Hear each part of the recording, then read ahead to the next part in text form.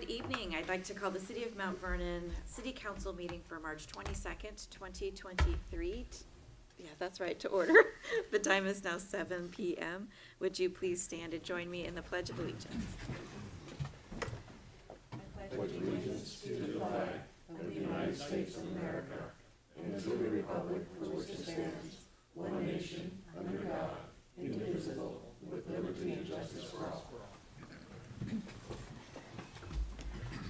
Thank you. Item C is our roll call of our council members. I'll ask the clerk to call the roll, please.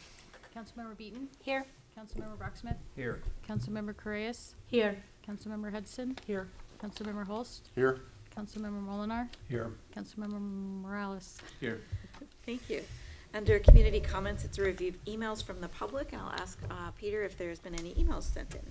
No emails. All right, thank you. Item two is our public comments. If anyone is here for public comment, you're welcome to come to the podium. Please state your name and city of residence, and comments about three minutes or so.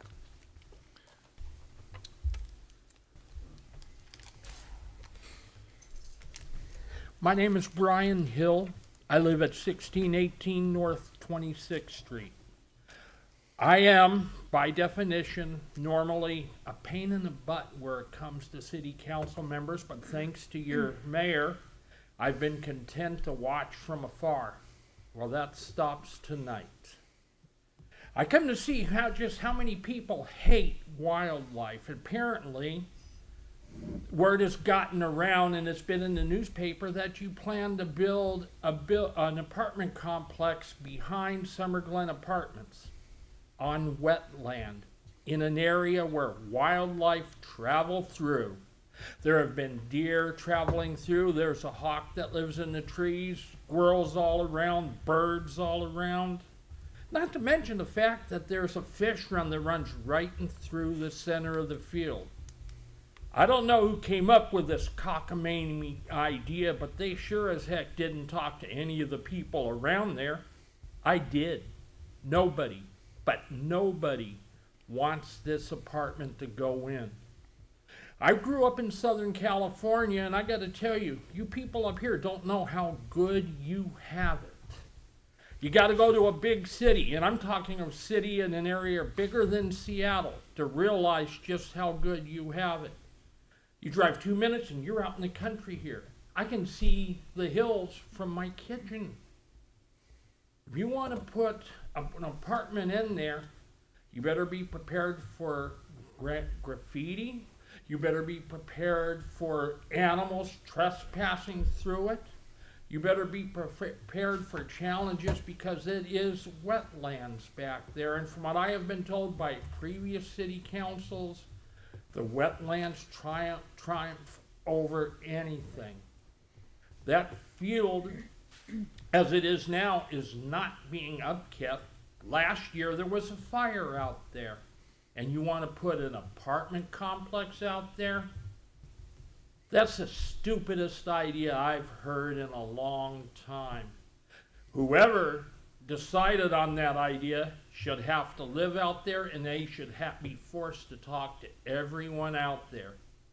Because right now, this city council's flying blind into what the people want. Thank you. Thank you, Brian. All right, anyone else for comment? Seeing none, we'll move along. Under our consent agenda, we have items A, B, C, and D. It's the approval of council meeting minutes, payroll checks, depo- uh, direct deposits, wire transfers, claims, and agreements, four three eight one through four three eight six. I'd move the adoption of the consent agenda. All right, thank you. Second. Motion by Mark and a second by Mary. All those in favor, please say aye. Aye. Any opposed, same sign. Motion carries, thank you. Under reports tonight, we have our Finance and Parks and Enrichment Services report, and that is Councilmember Mary Hudson. Thank you, Mayor. Uh, we met this evening at six o'clock here in these chambers. After approving our meeting minutes from last, um, from February twenty-second, uh, the first thing we went into was a, um, I'm sorry, Director Valesky give, talking to us about the finance department. Uh, he gave us a proprietary funds update, um, told us about the fund reserves and all of our utility funds and their associated capital funds and the equipment rental and reserve fund. All funds are currently at what was expected during the budgeting process, and overall, the balances are in good shape for future planned capital investment needs. Then we talked about the city debt update. Um, under state law, voters may approve general obligation debt issues up to seven point five percent of a of assessed valuation, split, uh, two and a half percent each to general purpose parks, open space, and utilities. But currently, we have no debt with parks and open space and are using only eight point four percent of the allowable debt for the utilities, which is at about eleven point five million. With general purpose debt, the city is using eight point six uh, percent of allowable debt with the fire station remodel bonds of eleven point seven million. When the city re- receives the federal TIFIA loan for the Mount Vernon Library Commons project, then the city will be using approximately twenty-seven point seven percent of the allowable debt amount of hundred and thirty-six point four million. Overall, the city is in very good shape with the amount of debt it will be carrying. We also got uh, a little sneak peek on sales tax revenues through February. Uh, uh, Actually, through March, they're up two hundred and seventy-nine thousand seven hundred twenty-three from last year at this time. Uh, The city has collected over two point four million in the first three months, which is over 26% of the overall budgeted amount of nine point two million. Then we had a um, Parks and Enrichment Services update from Director Berner. The first thing we talked about was the um, PUD field update. We're moving forward with the option of upgrading Hillcrest Park and Edgewater Park to accommodate the fields that will be, um, will be lost at, at PUD. Hillcrest will have, uh, a new soccer field and Edgewater Park will have a new soccer field and an overlay baseball field, or vice versa, whichever way you wanna look at it. The city is asking PUD to pay the city two hundred thousand dollars and install the new two-inch water line and meter at Hillcrest Park. The city will then do the work through staff and contractors to revise the fields at Hillcrest Park and Edgewater Park. The, and also the new field rental policy has, has provided field use for five new youth organizations, which is pretty exciting. People that haven't used it in the past are coming now and asking to see if they can get on the schedule, so that's, that's really exciting. Uh, I hope you've all received your new spring, summer activity guide. Uh, they were mailed to households over the last few weeks. Um, and one of our new events this year is Earth Day, and the event will be held at Hillcrest Park on Saturday, April twenty-second. Uh, and also, we got a, a little bit of a peek at, um, some of the new banners that we, our, our Arts Commission, um, asked for people to give us submissions for new banners along the river, along the river part. And eighty-one submissions were received, forty-six submissions were chosen, and the banners will be installed along the Riverwalk and should be up around mid-April. They're quite lovely. Uh, the ones we saw were, were just so pretty and so diverse that we're, I'm really excited to see how everything else comes out. Um, we had a small, um, update from the mayor, just general information about a trip to Washington DC, um, a little bit library, so pa- pretty much just a, an overall update. And we actually adjourned our meeting at six thirty. All right, thank you. Next up is committee report for Development Services Committee and Cats Councilmember Melissa Beaton. Thank you, Mayor. Thank you, Mayor. So we met in here last uh, Wednesday evening, March fifteenth, and first up on our agenda were, was a continued discussion on our design standards review. Um, What we're looking at doing is modifying what the design review board looks like in downtown Mount Vernon. We are studying doing nothing, uh, keeping it as is, losing it, or option four is to move and modify it. Option four would look like it is now part of the pre-application process. There's community uh, involvement and input. So it would look something like this. Step one, the property owner reaches out to the city, and the city outlines the entire process, which includes design review. The owner, the owner is given the application forms, and the meeting is required as part of the process.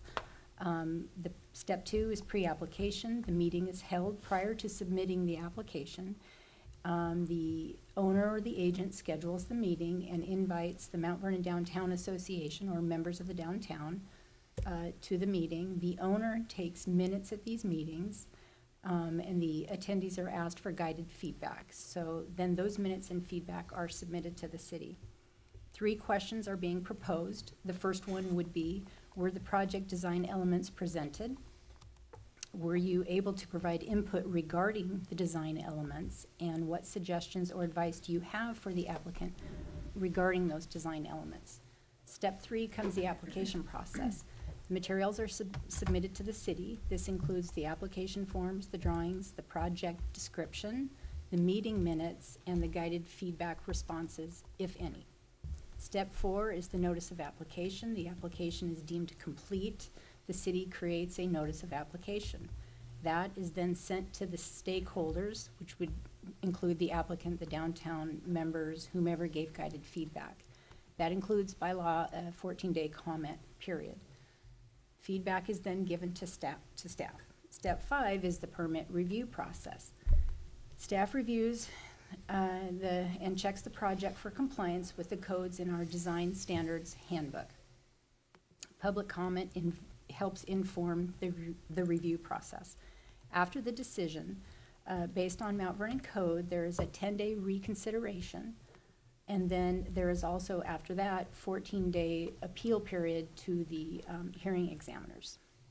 So that was that discussion, and then we moved on to our twenty twenty-three docket items, where, um, there are currently seventeen to eighteen projects that the city is looking to, uh, tackle over the next year. Some of those include finalizing our shoreline master plan, a land clearing ordinance, uh, a sign code. So that's what's gonna be going on for twenty twenty-three. And we're told that we might actually get all of those done. So that's exciting news. Um, Then we had some de- department updates. Our building official is retiring at the end of April, so there is a job posting on the city's website. Uh, We've had many permitting and process improvements. uh, Couple ideas, some of them are, we're stream- streamlining the process. You can now apply online twenty-four seven, uh, business licenses and things like that. Uh, Some of the staff members in development services use a GPS receiver, I believe, when they're out in the field. And that receiver, the operating system, and the desk software is at end of life. So we're looking at replacing that. Uh, Then we were given some legislative and project updates. Uh, One of the legislate, well, there's several legislative, several bills that we're looking at. Um, Some of the things we're, we're already doing, accessory dwelling units and things like that. Uh, Then we were given a project update. There is the Glenmore plat, which consists of twenty-six acres, thirty-six lots. Thirty-one of those are single-family lots and four duplex lots. One multifamily lot with uh, thirty-six units. There is a critical area permit in the works, and that project is moving forward. Martha's Place is, uh, we received an update on that. That's in its final stages here in the next month or two. There is a life safety issue with some underground, with underground fire permits. So that's between the developer and the contractor. So they're working on that. Cities um, have, have seen an uptick in solar panel permits. Um, Unfortunately, what's happening is that there are numerous installations in the past year where the contractor is not getting the permits that they are required to get. So uh, we're working with the fire department and the contractor. Homeowners are caught in the middle, and LNI is aware of this, and so stay tuned on that. Uh, we're gonna see Ziply, uh, Fiber out and about because they're, uh, exercising their right-of-way permits, and so it's just that time of year.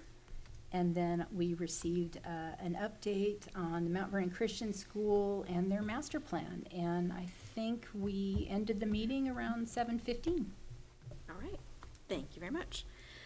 Um, under reports, uh, item B is our council member comments. Any council member comments this evening? Okay, we'll move along. Uh, under mayor's report, just a couple of things. Um, our legislature is in session and they are scheduled to be done, I believe it's April twenty-fourth, I'm gonna remember the right day. And, uh, but the, right now, they are working on not only passage of bills in both houses, but also the budget. And so we, as the city, have asked for one more allocation from the state capital budget for the Mount Vernon Library Commons, and that's two million dollars just to get us to that finish line. So what we're asking is, is if our community is willing to help us out, contact either the tenth or the fortieth legislative district. That's wherever you live in the city, you could go on the legislature, legislature website, which is leg.wa.gov. And you can even put in your address and find your legislators. But we'd really love, uh, uh, to send letters of support saying we'd really love this help from the state. Please work on that two million dollars for us. And any good thoughts and requests, uh, to our legislators would be very helpful. Um, you can also, if that's the easiest way, just ledge.wa.gov. You can also type in their emails, which actually is probably a little more, um, complicated to explain in this report. But you could do, say, ron.mazal.ledge.wa.gov, but go directly to the website, it'll connect you, it's easier. All right. Um, and then just a construction update about the Commons project. If you haven't been downtown recently, you'll start seeing the, uh, the poured concrete columns, uh, coming up out of the ground, which is exciting.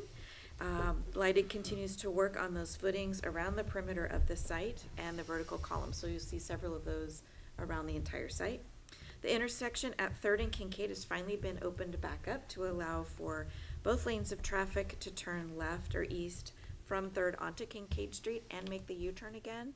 And so, um, thank you for the patience on that. There was a lot of utility work that required that closure, so, um, that's open again in time for tulip traffic. And then just as soon as those concrete, uh, footings and columns are poured, then the, um, just the, the, the nudge out into some of those travel lanes on Second and Third will get start, start being pulled back as well, so won't be as disruptive downtown as far as traffic goes. Uh, the project has received several visitors in the last few weeks. We've had three visits from Puget Sound Energy from their senior leadership to come take a look at the project and how they could collaborate with us. And we welcomed Representative Rick Larsen, um, did a video about the project for his social media, so we're thrilled that, um, they came to visit and uh, help support the project. As always, you can find more information on the city website, mountvernonwa.gov, including a live webcam where you can watch all the activity happening live. All right. Item D tonight is a committee agenda request. Is there any committee agenda requests from council members? All right, seeing none, we have no unfinished business. And under new business tonight, our first up is our Skagit Valley Tulip Festival po- poster presentation, something we look forward to every single year. And so I'll have Peter Donovan make the introductions. Thank you, Mayor. Hi, Council. Yeah, every year we look forward to a visit from uh, Skagit Valley Tulip Festival Executive Director Cindy Verge. So, uh, welcome Cindy here tonight to present the 2023 poster design. Um, also, maybe you would want to ask her her favorite question, which is, what is the exact date and time that the flowers will bloom? welcome, Cindy.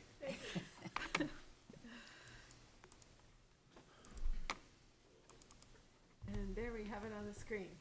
And here it is. It's so ready to gorgeous. hang up somewhere in the city. Love it. I think everyone will really like it. Tulip Festival is going to be great this year. It is so wonderful to have things much more back to normal. The Canadian borders open. We have uh, been able to have our Tulip Ambassador event. In fact, uh, yesterday, we spent the day down in Olympia, meeting the governor, doing a tour of the Secretary of State's office, meeting our legislators from the area with our child ambassadors. They've already decided how that even though they're two different ages, that they could both be fourteen at the same time and apply to be pages. So I thought that was delightful. We're, we're getting that, that service bug in them, and that would be good. Um, we have the PACCAR open house back. That hasn't been up here since twenty nineteen. And so we're looking forward to those, uh, several thousand people that will go through PACCAR. Um, and we've done some really interesting partnerships with the Skagit Tourism Bureau this year. They have partnered with us to do a passport program. It's a digital passport program, and you earn points. So you earn points for going to the tulip farms, you earn points for going to the restaurant, to a restaurant, you earn points to going to the parade, to the street fair. And you can use those points to come to my office and get a special sticker. It's a holographic sticker, it's pretty cool looking. Or you can enter to win a restaurant gift certificate drawing. or you can enter to win the grand prize drawing of uh, a night in La Conner at the La Conner Country Inn and um, a restaurant there for dinner. And so we're really excited with that. In the pre-signups, we already had um, nearly 600 people sign up in just about a month, and that was really gratifying. That'll give us data. We're hopeful that it gives us lots of data to say where where where are our tourists going, where are our visitors going, where are they coming from, and uh, it'll also give them the chance to go out and explore everything a little bit because there's over 70 different entries on that passport program. So that will be a really good test to see how well they move around the county and what they find. And we're just excited to be able to partner with the Tourism Bureau. There have, we'll have um, three more passport programs that they're going to implement on the visitskagitvalley.com website. So to me, it's a really good partnership, a really strong entry for them for that. Then we've also, and um, the city also helped us with this, um, got some extra funding through them and our uh, lodging tax applications around the county. And we hired a media company called Swell Media. And they've been helping us expand our social media posts, our presence online, working to try and make sure that we're out there and saying to people, hey, come on back. We, we've missed you with, with the, the past, uh, since, um, twenty twenty, because we've noticed kind of fits and starts of whether people are remembering to come back to the Skagit Valley. So we're very excited about that. And we've added a fourth grower. We now have four different places for people to go and pay admission, go in and see tulips planted just for them to walk around and see. And that's really exciting because we had been down for to two for a really long time. And then we went to three, and now we're at four. And so it's going to be a lot of fun to see what Tulip Valley Farms has to offer.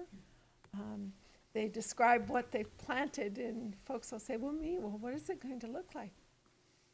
I don't know. we'll all find out together because literally the bulbs were planted last fall.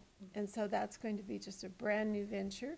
And then, of course, Tulip Town has a lovely planting um, spot, and they've they've revamped some of their their things out there, so that'll be fun to see. And uh, RoozenGaarde, you might notice that the tulip fields look different this year.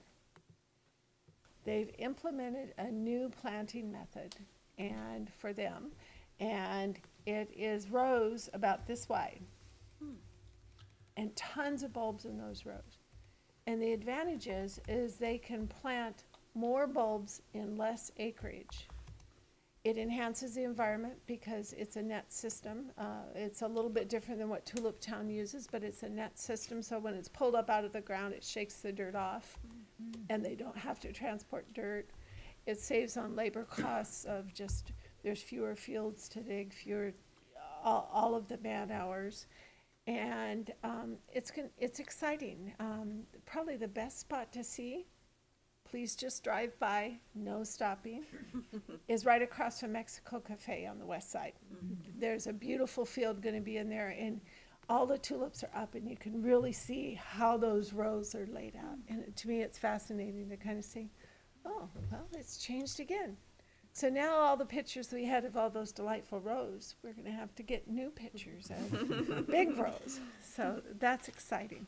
So we're all set um, to get the Tulip Festival started. And in answer to the question, there will be tulips blooming April 1 through 30th. There'll likely be red tulips and purple tulips and yellow tulips and white tulips and all sorts of other tulip colors blooming during that time period. And we're suggesting that folks plan on coming right in the middle of the month. Because where we're at right now, that looks about right. And uh, as we always hedge our bets, so stay tuned for weather. Because uh, we have had snow on Street Fair weekend before. Yes. We'll hope that doesn't happen, but weather always can get us. And now to the poster. It's, uh, the poster artist is Carrie Clavendetcher, and Carrie has created a lovely poster. Um, it has a Savannah sparrow per- perching on tulips, and they really do that. Um, Carrie is a very interesting artist in that her background is she was a college athlete on the Yale University volleyball team. And she graduated from there with a degree in physics. Then did a stint at NASA as an intern for them and went on to Microsoft and worked for them for a while and then decided to become a full time artist. And she does photorealistic work. And um, go on our Facebook page. We're revealing her 10 hidden images in that poster. And so we're inviting people to go there because some of them are, are so, there's some sports team uh, logos in there, there's her father's uh, name in there, there's um, uh, all sorts of different little items. So you'll have to go and see if you can find them. And with that, it would be my pleasure to present. I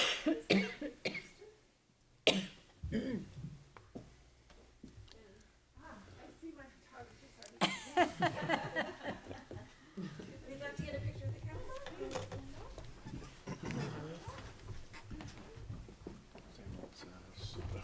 Assume, assume the position.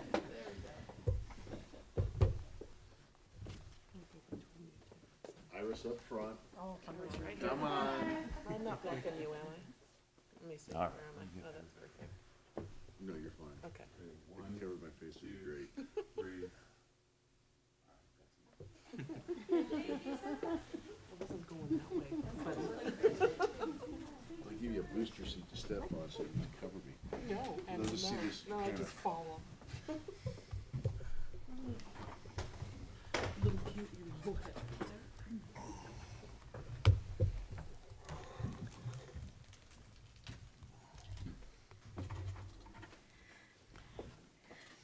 All right, thank you so much, Cindy. Item B tonight is the Skagit Valley Clean Energy Cooperative presentation. And this, a little bit about these folks. If Peter wants to help them come on up to the podium, that would be great. Um, we have Terry Nelson and Greg Whiting, if that's what I've got correctly, and potentially someone on Zoom, maybe Ben from Olympia. And um, I learned about the this cooperative group through a presentation to the Skagit Council of Governments, and I thought it was very interesting. Uh, Skagit Valley Clean Energy Cooperative is a nonprofit organization working to steward an equitable and accessible transition to clean energy. They're partnering with Olympia Community Solar to support homeowners and small business here in Skagit County. And so I invited them to share a little bit about what the work they're doing uh, with our community. So welcome to Terry and Greg. Thank you for that introduction. Uh, You kind of said everything I was just going to say, but Oh, okay, sorry. no, I appreciate that very much. Uh, The Solarize program is a s- program I'm very impressed with that that Olympia Community Solar has been doing for a couple of years. And uh, uh, Greg Whiting, our uh, associate here, is a very, is an actual bona fide expert in the energy field and has been making the presentations for us, so I'll let him go over the details with you. We We also have brochures and cards here, which has most of the information you need to know about the program, but Awesome. I'll let Greg take it from here. Thank you. Thank you very much. Uh, Thank you very much. And uh, so Skagit Valley Clean Energy Co-op, as uh, Mayor Boudreau just uh, uh, said, is a, a nonprofit that's been founded to uh, accelerate the use of clean energy technologies in Skagit County.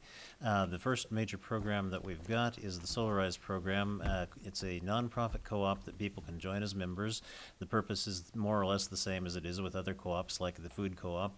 Uh, you join as a member, and then you get access to uh, things that you wouldn't necessarily get access to at prices that you wouldn't necessarily be able to get.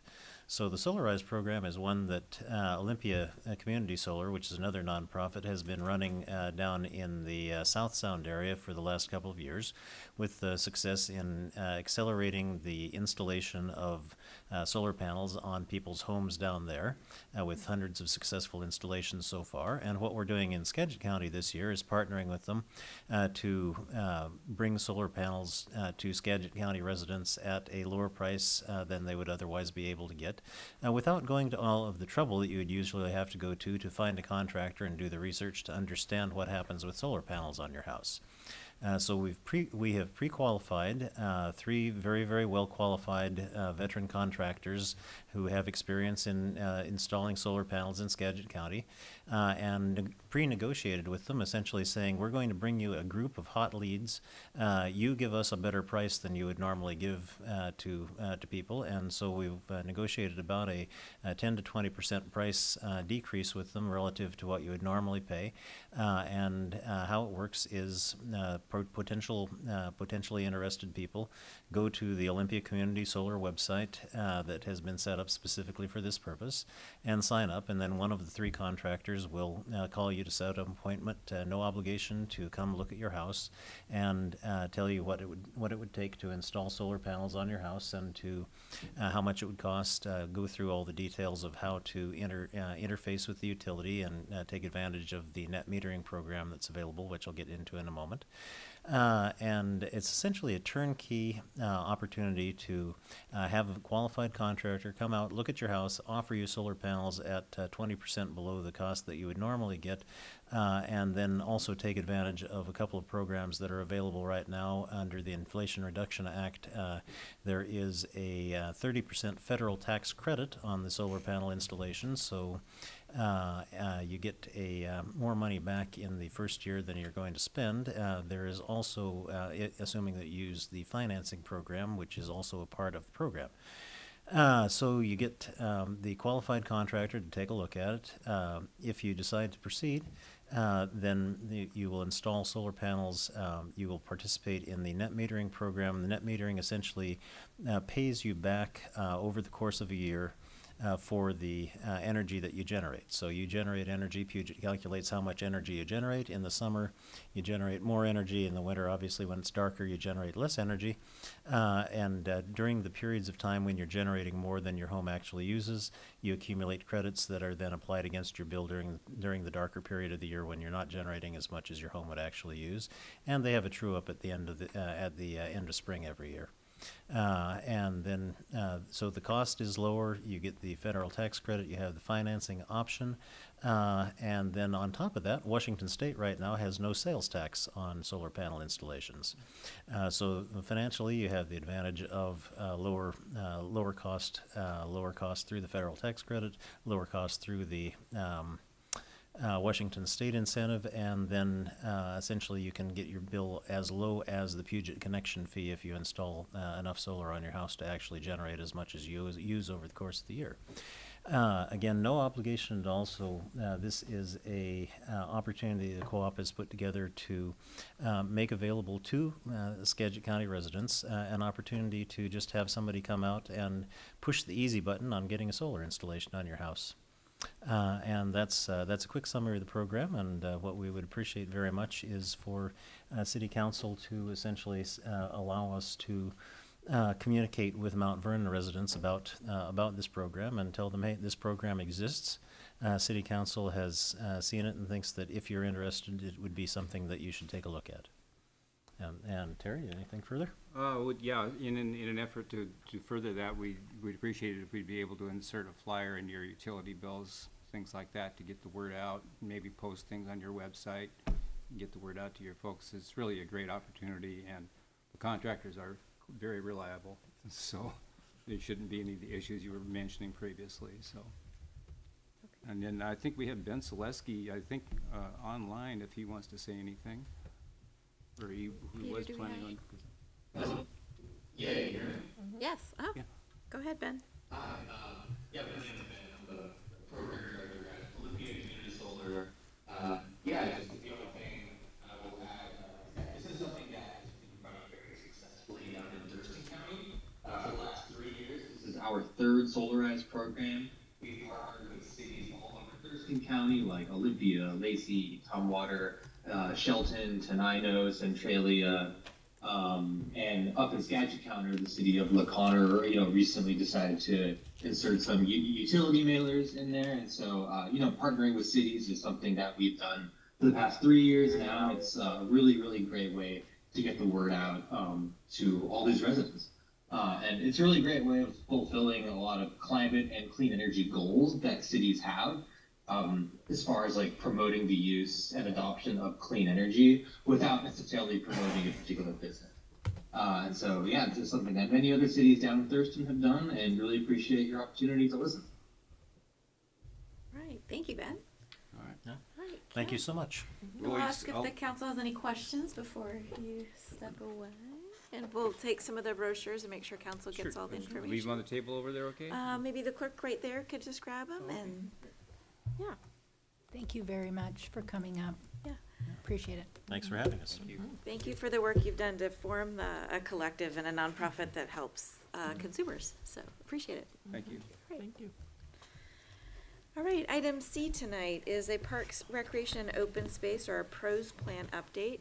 And our Parks and Enrichment Services Director Jennifer is here for this. Jennifer? Give me a moment.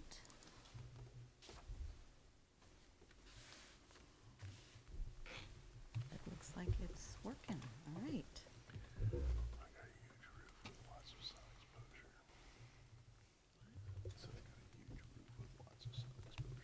Okay.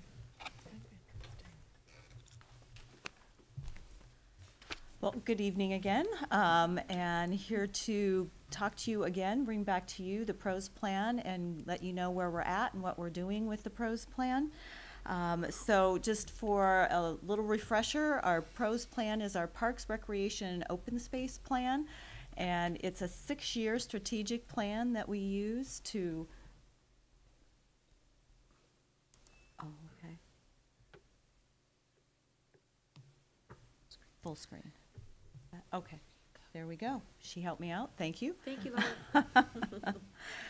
Um, so again, our Parks, Recreation, and Open Space Plan is a six-year strategic plan that helps us with um, our planning as well as enhancing our park spaces, our open spaces, our trails, recreation programs, community events, all those things we take a look at when we're looking at our pros plan. The plan, when it's certified, is um, going to make us eligible for RCO grants that come through the state. So it's important for us to um, get our plan um, certified, get it operational, and then keep it going. So every six years, we should be updating that plan. And in December, we were here at council and we were able to talk with you guys about um, just the overall process, um, the demographics that we had learned at that point in time, and then we informed you of our community survey. So this evening, I have Tom Beckwith with Beckwith Consulting here to give you an update as to what we've been working on and where we're at so far. And we'll go over community survey information, um, and we'll have some more demographic information for you, some um, five-minute and ten-minute walk view, work, walk sheds um, information. So we'll kind of walk you through. It's a lot of information, but we'll walk you through it at any time. Please stop us, ask any questions that you might have. Tom? So you can just, um, I think you can arrow down. Yeah, Oh, cool. yeah. This one works. This one works. Thanks. The things in the boxes are the things that we've completed so far. Uh, we've done the outreach surveys, we're gonna show you what that is, we've done demographics. We're gonna look at the demands, and we're gonna look at some draft, kind of citywide plan elements, uh, that we're working on right now. We showed you this, uh, population projections. The Washington State Office of Financial Management does the population projections about every six years. This data is from twenty eighteen projections. We understand that they're about to, to, um, publish some updated, uh, projections this year. They will show the growth a little bit less than what they anticipated before because of COVID impacts. Wasn't as much job creation, there wasn't as much mobility in the labor market. That may or may not, uh, as the counties allocate the growth within the county, they're gonna probably take a look at what the cities can achieve, and so they may not be proportional to each city. You may, you may retain a higher growth rate simply because you have capacity. This is your, what we projected for your age spread by twenty fifty. Uh, that will probably be somewhat similar. What we may just have is a smaller number of people in each bar. But you're still gonna be a family kind of, um, community, but you will have a growing elderly or senior citizen population, as every other city and, and place in this state is. Your demand projections will probably be similar to this. We use twenty-six data for this. RCO does a detailed, uh, diary survey every six years, and the two thousand and six was the most accurate, but they have also done some twenty seventeen projections, and we will probably update this a little bit, uh, if we can. It probably won't change the major findings, that fitness, playgrounds, uh, walking, and um, observing wildlife are still gonna be the major activities, and those are the activities that your park should uh, begin to focus on. This is the resident outreach survey, that's six hundred and twenty-five completions, that's six hundred and twenty-five households. So if you were to multiply that roughly by three, you'd have some idea of what the population number is that was recruited. These are the main characteristics. The major recruitment, seventy-three percent was by email, twenty-five percent by word of mouth, twenty-two percent by Facebook, ten percent by website. Remember that because when I show you how school students are recruited, we're gonna have entirely different sources. Uh, residents, nineteen percent said they don't live in the city. Uh, it's not unusual for people not necessarily to know whether they are city residents or not, but it's significant nonetheless that they identified and took the survey. Uh, lived in the city, you can see forty-four percent over sixteen years, but, uh, there's a good spread amongst all the other, um, year categories, including thirteen percent that have lived here for less than two years. So we have a good balance, at least, of, of how long they've been residents. By household size, thirty-seven percent are two-person households. That reflects young people and older people, empty nesters. Um, ninety-one, nine percent were just a one-person household. And so that's a demographic to pay attention to. By age group, there was a good spread. Thirty percent were in the twenty-six to forty, or the middle family ages, probably with kids, and so we're gonna reflect their, uh, interest, but two percent were from nineteen to twenty-five. So we did pick up, uh, somewhat of a balance. Ten percent said they had a disability that affected their ability to access physically a park or program. And some of their accommodations was forty-three percent would like hard surface trails, so they can maneuver on those. Uh, and eleven percent would like ADA playgrounds. Now, all of your playgrounds have ADA qualified equipment. Probably one of the, the trends or one of the, um, newer innovations is what's called a universal playground, and that's where you can play on the equipment if you're in a wheelchair or if you're a physical disability. And that might be something for us to look at. By language, only three percent said they were Spanish speakers, but frankly, even though we had a Spanish version and recruited that way, what usually happens, there's somebody in the household that speaks English, and they're the ones that does the survey itself. It doesn't mean we shouldn't reach out in Spanish, but we don't find that, that they actually, um, participate online in their native language. And last, for gen- gender, sixty-nine percent were female. Women feel, are more diligent about filling out surveys, uh, but wait till you see what the school student survey looks like. These are some of the major, um, characteristics, or some of the, how often do you use the following parks? Uh, and I have to read a little bit off of yours, because my menu here is, is, uh, sits right over top of that, unless you can, Does that help? no. That's all Little right. Mountain. I don't have my glasses on. Little The- Mountain Baker View. Yeah, the key, key parks they use is Little, Little Mountain, Baker View, Edgewater, Hillcrest, and Skagit. Those are your community and regional parks. That's not unusual that they would do that. But if you look down through there, there's a use of almost every one of your parks, but proportion to what they are. If they're a neighborhood park, you're gonna have less volume, but it does show that all your parks are, have some activity on them. When we asked for the trails, the trails were Little Mountain and Skagit Riverwalk. That's not unusual. Those are your premier trails, and those have the most environmental characteristics in which to observe. When we asked what would you do to increase your use of parks, uh, I highlighted again in the yellow areas. One of them is better improvements. Um, um, the route to the park, one of the que- questions is how do you get to the park and, and how you access it? And the next was a park or trail um, improvement on it. When we then asked how important are the following features, there were trails and open spaces, walking paths, and picnic facilities. Now, in some respects, those are the classic either neighborhood park, what you can walk to, or your ability to get on a trail or something to take you somewhere else within the city.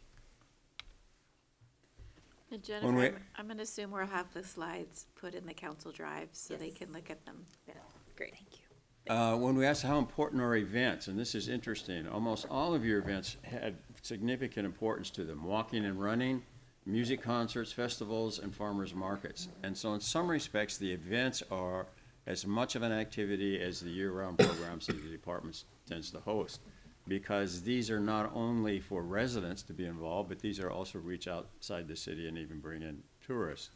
When we asked what would we invest more money in, it was build more trails, build and add new parks, add a greater variety of parks, build, host more community events, take care of the forest, and increase routine maintenance. So pretty much everything within that category they would invest in, which is significant.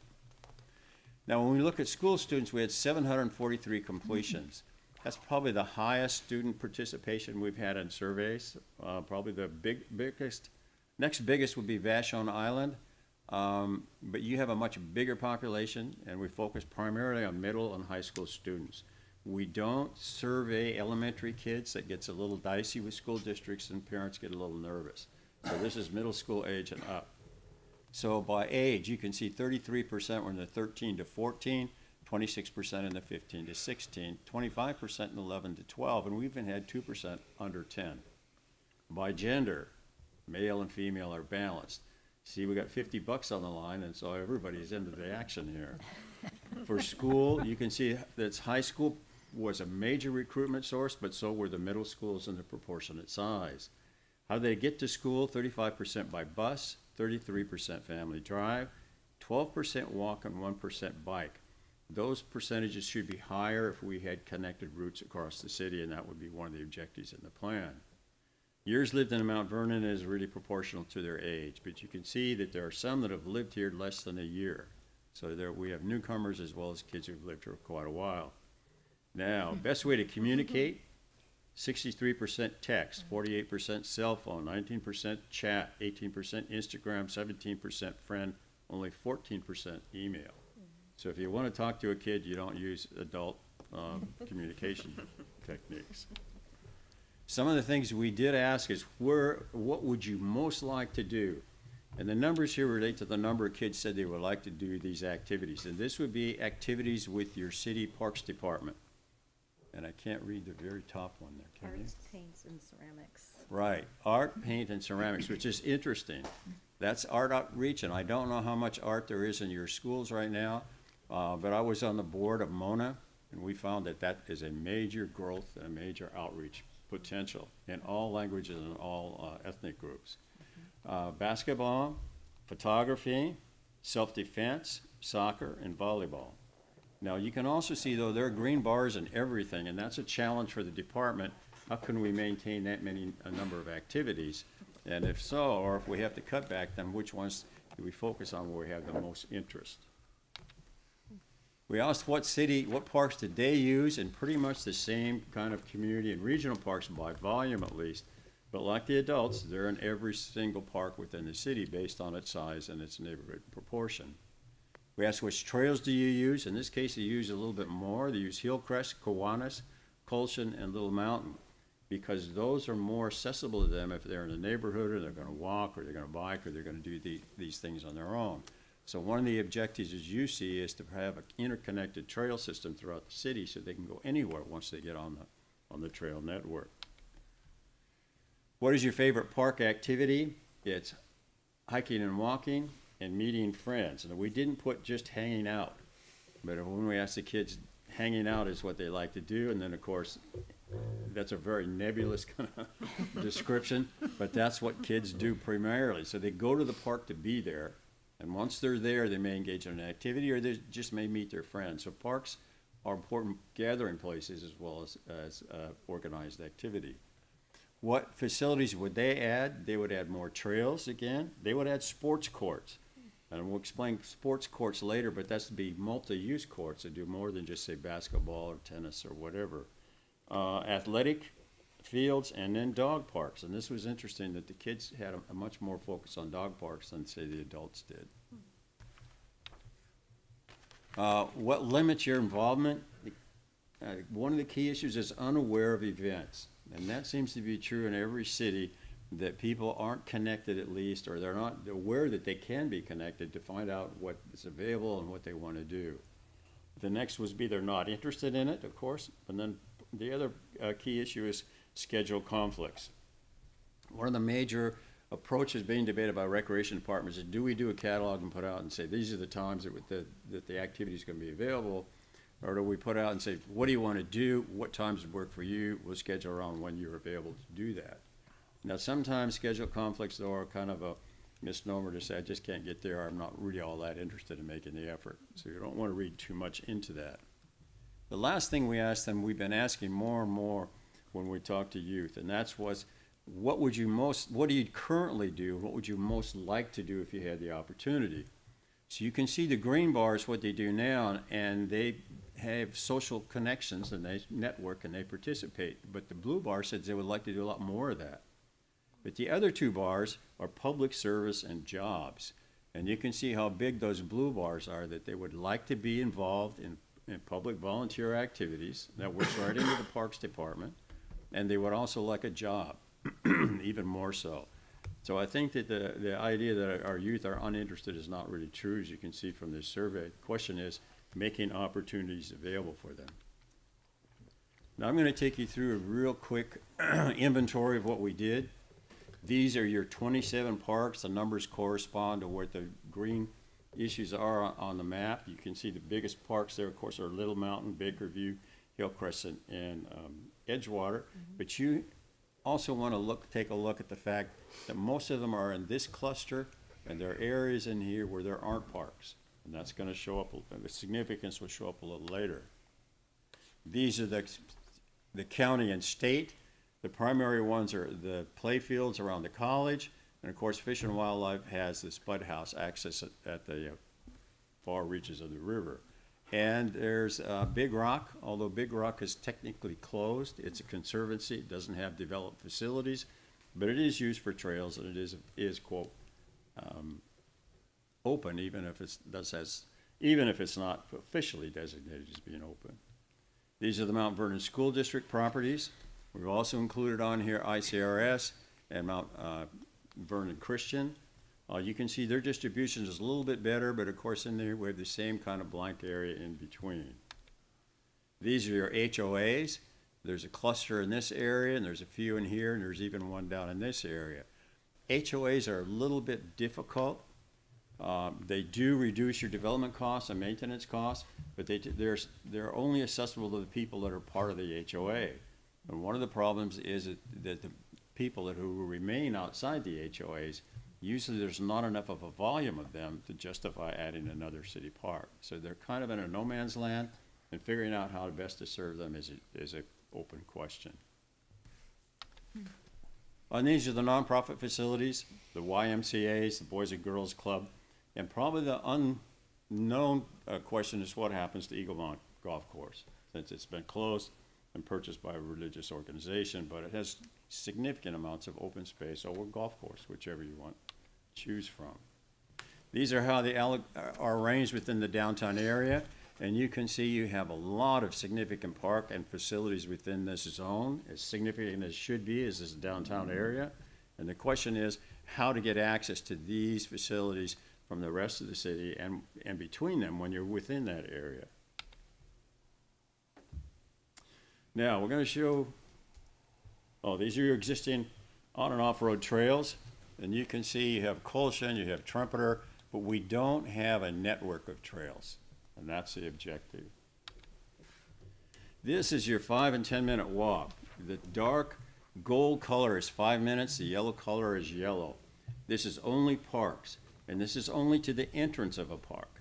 Sometimes you have major properties like Baker's View, and you, and you uh, if you're on the north side of it, you can't enter the park. So if we measure the time distance from wherever the routes and the sidewalks and roads take you. And you can see there are blank areas in here, as we've talked about, uh, where there aren't facilities. This is the same thing if we add the schools and we assume that the schools are also accessible. Now the pattern is a little bit better, and the question is how best to make use of what the school facilities are and your facilities uh, so that we're not duplicating and we're specializing. This is what's called social equity mapping. This is single parent households. The dark color is over 30% of the, the households in that area are by one adult, male or female, but predominantly female. You can see where they're clustered, older sections of town. This is housing expense. The darkest color, are they're paying over 40% of their income for housing. HUD says you shouldn't be paying more than thirty percent. There's some of the same areas as we just looked at single parenting. This is poverty. The darkest color is over twelve percent are in poverty status. You can see this is somewhat similar to single parent, and it's a correlation, correlation. This is non-English speakers. The darker color is over three to seven percent. And you can see the older areas, older neighborhoods is where um, migration typically enters a city. And this is the composite. And you can see all those, most of those characteristics are correlated together within that zone. The question for parks development and for recreation programs is to make sure there's equity that these people can participate the same as those that can afford it or that have better access. Sometimes that's a question of fees, sometimes scholarships, and sometimes it's simply outreach that they can then get to the parks and the facilities.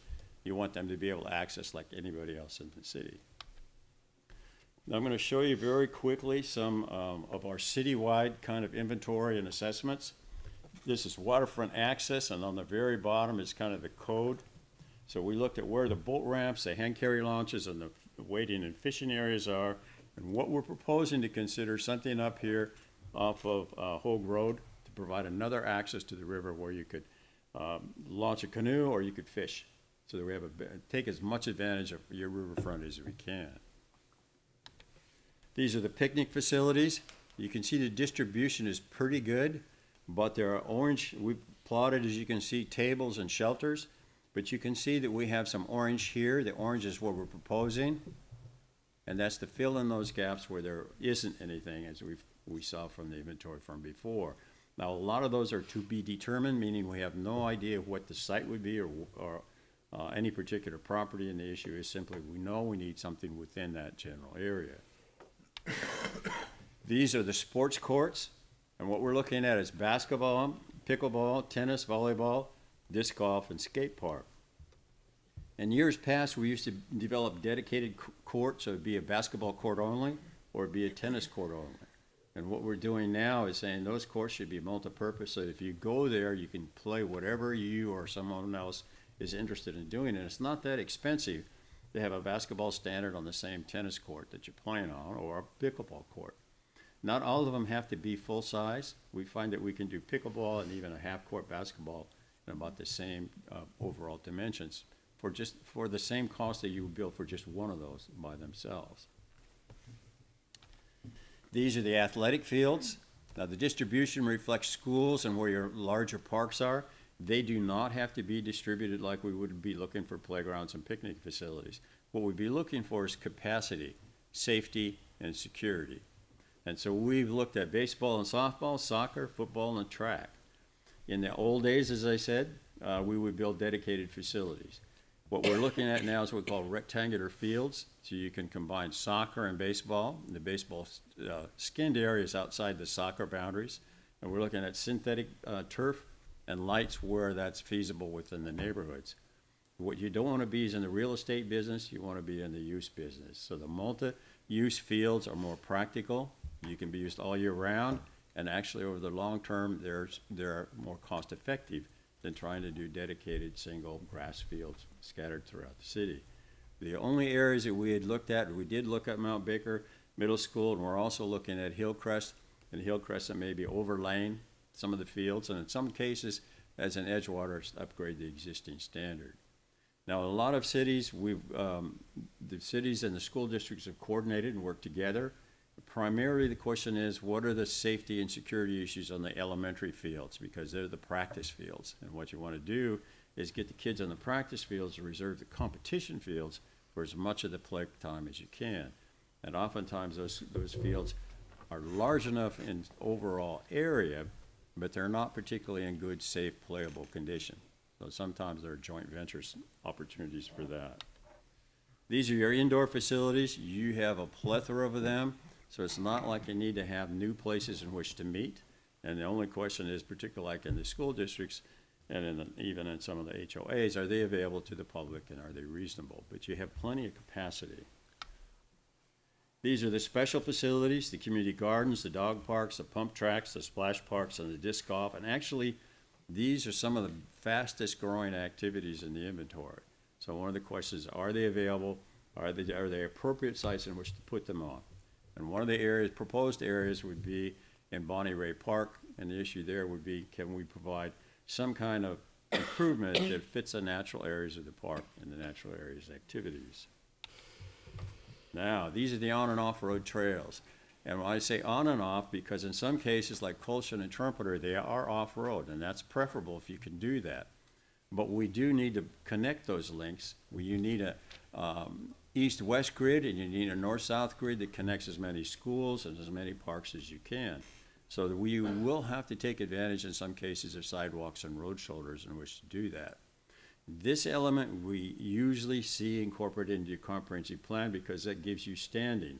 So if a development comes in within an area that you've already designated, you have an objective of having a, a trail corridor, then you have the ability to talk to the developer or the landowner about when and where that would be.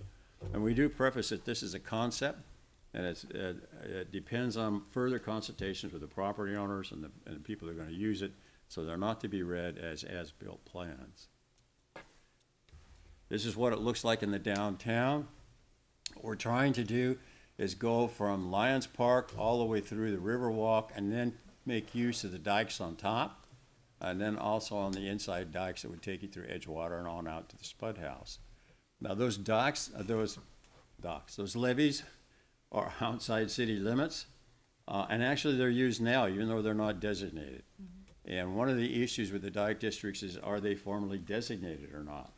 Most dike districts are really leery of the liability, uh, not- that somebody would be hurt on their dike. Uh, and the only way that you can have them publicly, uh, designated, signage and on maps and so on, is if somehow there's some arrangement about sharing that liability.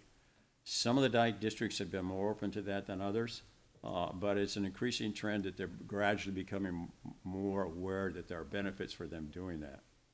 Either way, they're currently used in an undesignated capacity. Now, the other issue is how do we link Edgewater to Riverwalk? And I know at some, one time there's talk about trying to put a pedestrian bridge across here, and we did take a look at that. One of the issues would be the bottom of the bridge would have to be above the highest high water, um, mark on the river and not be an obstacle. That would put the bulk or the bottom of that bridge in eyesight. You'd be standing on a Riverwalk looking at the bottom of the pedestrian bridge. It would also have to be ADA, so you would have ramps on both sides of the river in which to do that, and that'd be another visual uh, impediment. And on Edgewater, you'd probably be standing there all alone once the floodwaters come through the rest of the park. Lastly, it would be on the city's dime. That would not be eligible for federal or state funding because it's not combined with another transportation corridor. So our, our solution is to stick with the existing bridge, and we think that bridge is probably going to be redeveloped sooner than what we've anticipated before with the Infrastructure Act. And if it's done, then the, the state and federal standards require expanded pedestrian access and a bike lane. So the only question is how long that will take. It took a while. What we have left is we will be back in a couple of months with uh, how these things relate to each park. We will be looking at financing issues, we will be having some open houses, and then lastly, we will have a survey of your voter households to see what their priorities are, not only for improvements, but for financing options. So we weren't looking for any um, action this evening, just to share the information. Um, I will get that uploaded. I had one uploaded in there, but it didn't show some of the markings that we had, and I forgot to go back in when we got the new one and um, put it in there. So I apologize for that, but I will get it in there first thing in the morning. All right. And I assume if any council members have any questions or want different types of input, just reach out to Jennifer. Absolutely. Awesome. Yes. And that, that's under the docks, or, uh, park, in the park section, where you're gonna put it into our packet. I can put it into, you- which, what, what would you prefer? I How about if you put it in both? That way they can look I- in their packet for today. I can do But that. then in, uh, in the parks folder, I'm sure there's something there we can put in. Yeah, okay. Perfect. Okay. I just wanted to say thank you so much for including the children. Yes, Their voice matters, and I think it's great that we had such a great turnout with that.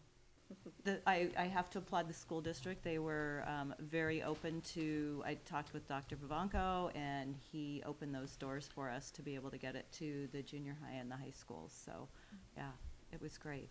It's great to see their responses and how it's different, right? And how we need to reach our populations differently. So It's great. Great. Thank right. you. Thank you. Thank you so much. All right. Uh, item D is a public hearing for street vacations. Wait, do I have that right? Yeah, I do, sorry. And Alan Danforth from Development Services here for this. Alan? Thank you, Mayor. Hi, Council. How you doing? Um, so back in January, um, I'd come in to set up a public hearing date for this, and we had briefly discussed the vacation of a narrow strip of alleyway just to the east of Second and Gate Street on the south side of Gate Street. Uh, ordinance, I believe it's thirty-eight sixty-seven tonight, would, uh, approve that, uh, if, if council so desires, after the public hearing. Um, just, a- just to do a little revisit of, of the area that we're talking about is, we have, um, a alleyway that goes north-south, and halfway up the alleyway, there is a four-foot jog. Um, I've looked at this with Public Works and Planning, and we have no short-term or long-term plans for the right-of-way. Uh, we do have potential, uh, long-term plans for the remainder of the alley that will stay in place, and that is, that depends on some studies that Public Works is doing right now on how to separate the storm and sewer system in the area. So, to, uh, to reiterate, I guess, is that in, in general, it's going to be this little four-foot strip of, um, of land that we would vacate back to the property owner. Um, and again, this is just a little aerial view of that, of that strip. Uh, right now, the alleyway is not actually used as access in any way, shape, or form. There is some parking that goes along in there. And there are two utilities that are located within the four-foot strip that will be vacated, so they'll, we will retain an easement for those two, which is, I think it's uh, Puget Sound Energy and Cascade Natural Gas. Um, outside of that, that's about all I've got for you. Uh, so any questions about that? Any questions for Alan on this Yeah. Particular council action? All right, so then we are required to open a public hearing if there's any comments on that. So I'd open a public hearing if there's anyone would like to speak to the street vacation as presented. I think Brian wants to since he's here. I really wasn't planning on this one, but if I understood right, you're gonna give that stretch of alleyway back to the property owners. There are people who park on that stretch of alleyway. That is less parking this city is going to have, and parking in this city and places is a nightmare to begin with. You have empty buildings, the old Y building, the a building on the southeast, southwest corner of LaVenture and College Way, some buildings downtown. I think the city council's agenda, sites, whatever you want to call it, is a bit askew. This should be really low on the totem pole when there is a whole lot of other problems. Number one, parking. The owners of the properties can charge for parking now. More money for them, less parking for the city. It's something to think about. All right, thank you. Any other comments on the hearing? All right, with that, we'll close the public hearing regarding the street vacation. This would be ordinance thirty-eight sixty-seven if council chooses to take action, or if there's any questions for Alan. No, I'd just like to say, Alan, thanks for bringing this to us. I know I talked to uh, Director Phillips about this uh, when he was in the other department. Um, And, and, uh, you know, this property's been encumbered for property owner. They haven't been able to do a lot of the things that are required of them to do because of the, the uh, alleyway being in the way. So um, this is just kind of the, really, it's a house cleaning issue. It- it's to Absolutely. Get the uh, property owner to be able to conform with, with design standards, really. Um, So if there's no uh, other questions, I'd move the adoption of ordinance thirty-eight seven, sixty-seven. Second. All right, motion by Mark and a second by Gary. Any other questions? All right, all those in favor, please signify by saying aye. Aye. Aye. Aye. Any opposed, same sign. Motion carries. Thank you. Thank you. Thank you, Alan. Item C is the public defense contract renewal with Mountain Law, and that's Peter Donovan, our special projects admit, manager, is here for this item. Thank you, Mayor. Hello again, Council. Uh, Since 2014, Mountain Law has provided public defense services uh, for the city of Mount Vernon that exceed the standards adopted by uh, city ordinance. Uh, Recently, the city ex- uh, extended an agreement with Mountain Law for an additional three months uh, so that staff could review performance and negotiate terms. The city consulted outside counsel during that time, and although it was outside counsel's general feeling that uh, the city of Mount Vernon is likely a, a leader in, in public defense services, it was recommended that staff use state Supreme Court established standards to review Mountain Law's performance and adherence to things like prescribed caseloads, uh, as well as a review of compensation for public defenders within jurisdictions of similar size. So, following an extensive look into Mountain Law's practices using those guidelines, staff has determined that Mountain Law continues to provide outstanding indigent defense services despite facing many of the, the common workplace challenges that many businesses face today, to include uh, attorney recruitment and retention. The agreement before council tonight seeks to address those challenges by bringing Mountain Law's compensation packages more in line with other firms and jurisdictions with whom they compete for a limited pool of qualified and skilled applicants. Specifically, this is a three-year agreement.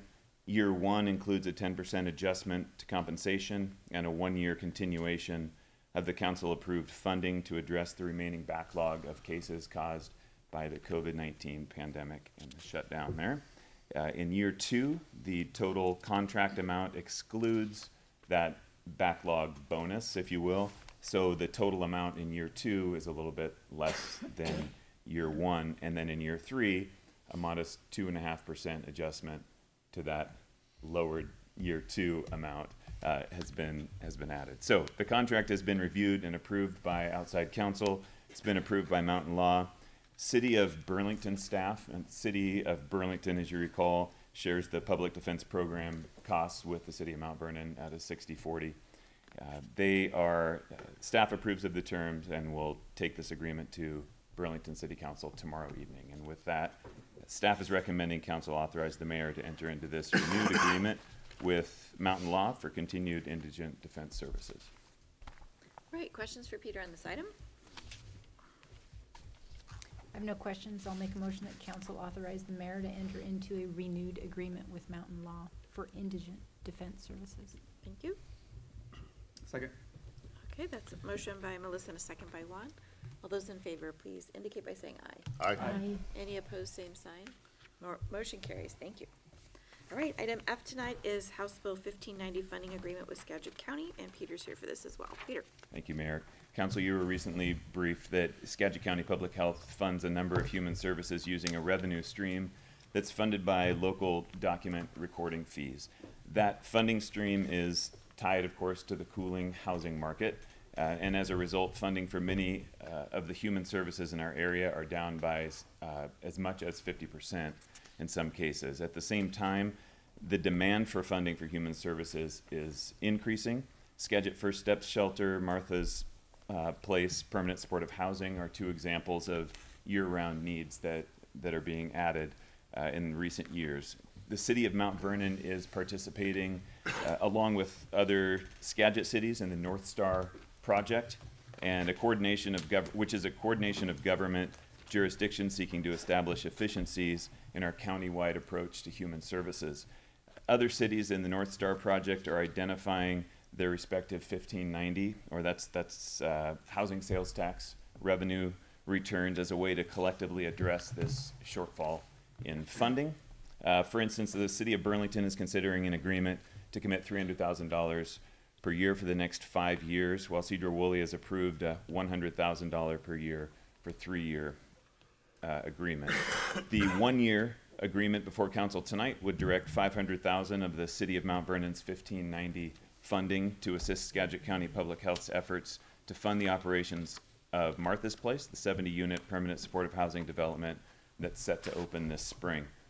That bridging this funding gap is, is an urgent need for addressing some of the more complex uh, challenges in, in the community and with some thorough and comprehensive solutions. And because of that, staff's recommending that council would authorize the mayor to enter into this one-year interlocal agreement with Skagit County for the purpose of allocating five hundred thousand in City House Bill fifteen ninety funds toward the operation of Martha's Place Permanent Supportive Housing Development.